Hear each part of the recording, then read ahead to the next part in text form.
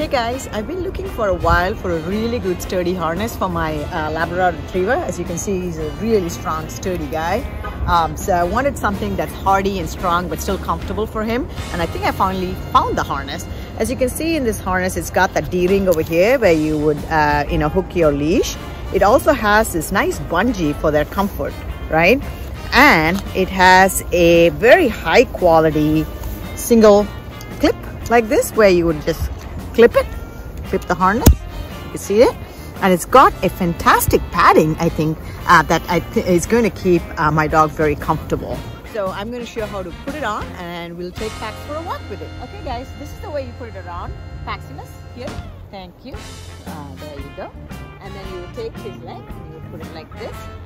And then all you would have to do is take this clip, put on and then you say you have a lead here and you have a lead in the front it really depends where you want to clip him and uh, this is the bungee which is going to give that little comfort when he you know kind of pulls or whatever so and then I love this little strap over here because sometimes Pax can get into things that he's not supposed to get into because he's a little puppy.